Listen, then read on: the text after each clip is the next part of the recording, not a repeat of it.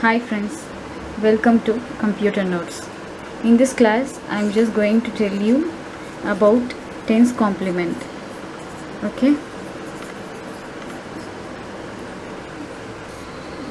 Tens complement and how to solve the problem. Okay? First problem is I am going to explain the practical problem. Okay? So this is the problem I am just going to explain to you base 10 okay so in my future classes i have explained you clearly uh, that the formula we are going to use for uh, in one's complement and uh, two's complement i have explained you clearly okay? What is the formula we are just going to use and uh, what is the use of the from formula and the formula expansion also?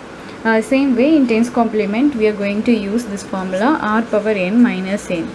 So here I have uh, explained in my previous class that uh, small r is the value of base value and uh, small n is the value of uh, the given integer. Given integer means it is 5 to 5 to 0 okay?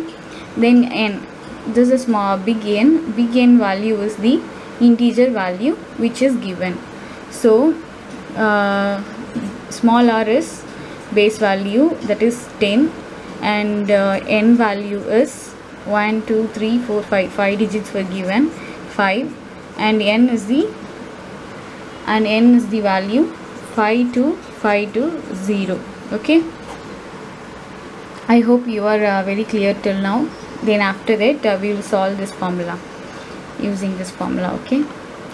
Uh, here uh, small r value is 10 power n value is 5 minus n which is 5 to 5 to 0 okay? Then after that 10 power 5 which is 0 0 0 5 zeros 1 2 3 4 5 minus 5 to 5 to 0 okay? So the final value for this answer for this uh, problem is after subtracting the normal subtraction only we will be applying here okay there is uh, no binary subtraction anything the normal subtraction okay? Uh, 47480 okay? That is 47480 with base value of 10 this is value for value for 5 to 5 to 0 base 10